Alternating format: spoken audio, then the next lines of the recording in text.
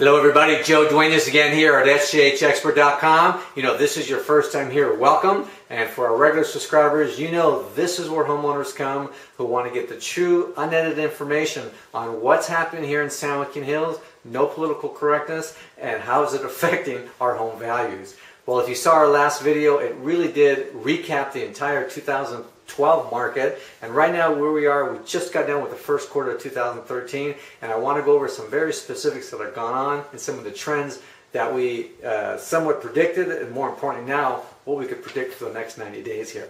Let's start out and see what's happened here in the first uh, quarter of 2013. Well, the first thing you want to notice is that there's only currently four homes for sale. Now, at times, you remember in the last seven years, we've had up to 35, 38 homes for sale. And starting last March, we've really been hindering somewhere between 9 and 10. So, as we've been saying, the inventory has constricted about 80%, and this is indicative of it. More importantly than that is, of those four currently for sale, None of them are short sale or bank foreclosure. They're strictly equity sales.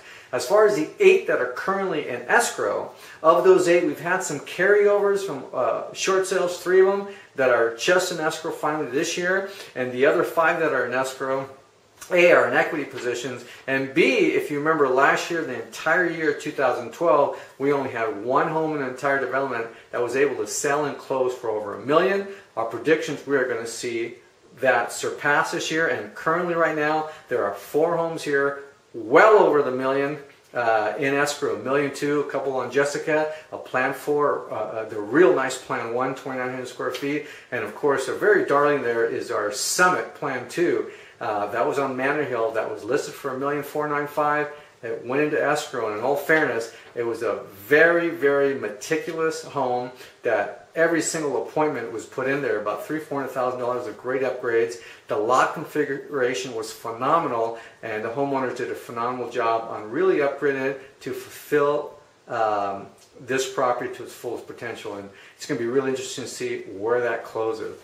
As far as the six homes that have closed escrow in this first quarter, just one was a bank foreclosure that carried over from last year, and the last five were all in equity positions there, starting to creep up between the 900 and 910. Now, the real interesting point I want to address and the takeaway for this are three segments of the market uh, that I'm seeing here in San Joaquin Hills specifically. One is the ones who have been postponing their refinance. If I had a nickel for how many people in the last few years wanted to take advantage of the rates, but the equity position wasn't there to consolidate your loans, uh, maybe just get from a 6% down to a 3%. However, now in the last nine months, the equity positions are back and the appraisers are being much more lenient to be able to let those uh, refinances go through. So if you've been hovering somewhere about a 5% interest rate and you've been happy, now's the time to get that equity position and refi and consolidate those loans. Second of all, if you are a move-up buyer, those are the ones who, uh, for years, have been postponing the purchase of a bigger home because the equity position wasn't there. So they were sitting and waiting. That truly has become our new shadow inventory. And what I mean by that is, right now, those equity positions are there. We've been helping a lot of homeowners here. But the problem is, the home they're thinking of purchasing, there's only two or three homes that fit their needs. Once they come on the market, they're flooded with uh, offers and they're not going to accept one for the most part of one that's contingent. So what are they doing? They're waiting. Those are the ones that I've been getting a call on. Those are the ones we've been putting specific strategies. There are opportunities out there, but you got to have a strategy. And everybody's different. Everybody has different needs. Uh, feel free to give us a call here, and I, we'd love to go over your needs there.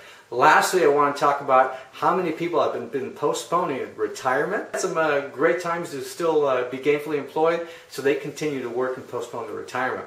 Right now, the downsize market, if you've been thinking about downsizing, if you have a second home, your equity position is there. And the key factor, the reason why so many people are jumping on is we don't know how sustainable this run up is. We've seen how quickly they turn. Uh, is this run up because of uh, job growth? I personally don't believe that. I think it's just strictly supply and demand. When we have so much pent up demand, this is my third real estate cycle, one, two, three, four, five, seven, eight years of pent up demand because our lives change regularly, it really does increase the market there. So if you've been thinking of downsizing, I highly suggest you jump on that now. Well, for right now, what I want to say is any questions, any comments, feel free to give us a call. If this video was passed over to you, by all means subscribe because we put these together monthly just to keep you informed of what's happening. And of course, until we meet, you take care.